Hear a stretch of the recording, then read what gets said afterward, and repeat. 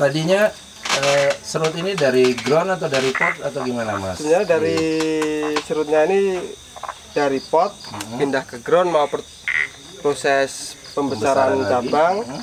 tapi kondisi di ground tidak memungkinkan. Oh, Kondisi serut drop. oh gitu. Jadi mau diangkat lagi naik pot Naik pot untuk proses pertumbuhan ya penanaman ulang lah, ditanam ulang. tanam lagi. ulang lagi.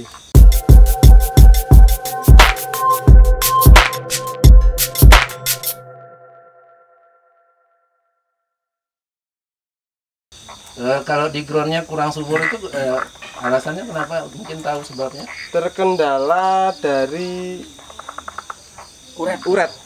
Uret. Oh, yang ulat. Iya. ulat namanya semacam ulat itu ya. Iya. Oke.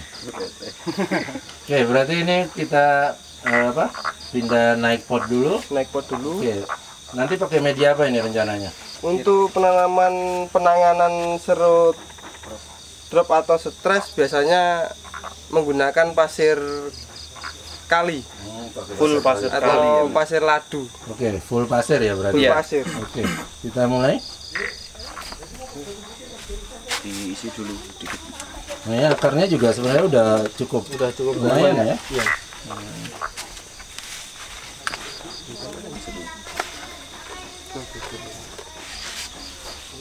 Berarti full pasir tanpa campuran pupuk. Tanpa campuran gitu aja. pupuk. Oke.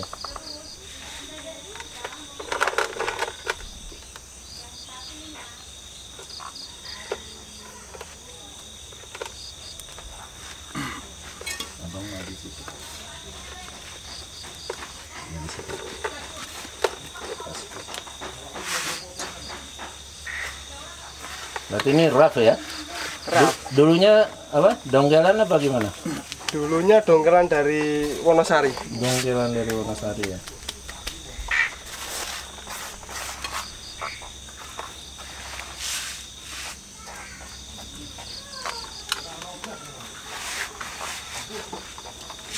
Berarti ini ditimbun full ya?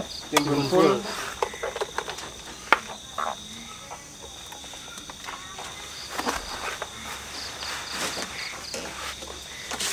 Ini rutin ngumpul gini, Mas Liris?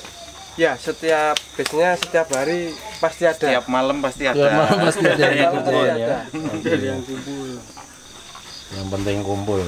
Yang kumpul.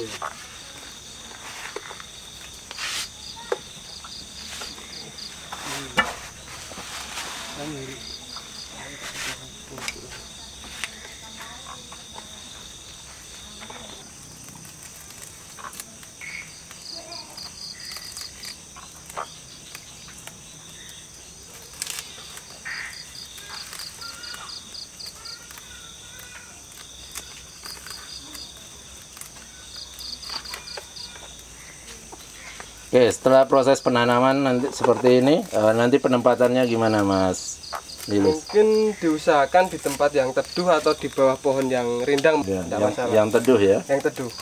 Kalau kena hujan gimana? Kena hujan tidak apa-apa. Nggak apa-apa ya.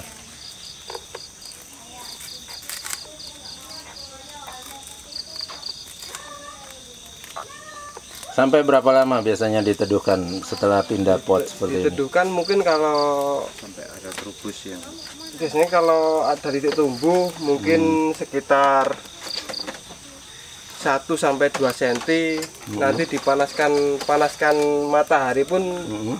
usahakan panas sore Oh gitu. iya Berarti tunggu ada terubus dulu ya. iya Berarti kemarin rencananya di ground itu untuk pembesaran yang mana ini? besaran ini pak Oh cabang Cabang-cabang. cabang-cabangnya ya. Untuk penyiramannya gimana? untuk penyiraman mungkin hari ini juga eh, penepos habis tanam ini mungkin disiram satu kali sampai benar-benar basah Heeh. terus mungkin kalau pakai pasir kan Poros ya. poros dua dua hari mungkin udah udah kering udah penyiraman lagi Oh begitu. Ber- Berarti patokannya kalau medianya kering baru disiram baru gitu ya? disiram lagi Hmm. Oke.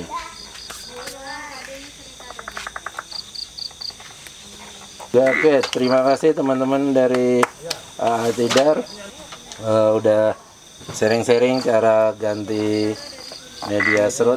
Eh, nggak ada perlakuan lain misalnya disemprot ini? Nggak ada. Nggak ada ya cukup diteduhkan gitu cukup aja ya? diteduhkan. ya oke. Oke terima kasih banyak teman-teman dari komunitas Ahatidan semoga bermanfaat sampai ketemu di video selanjutnya.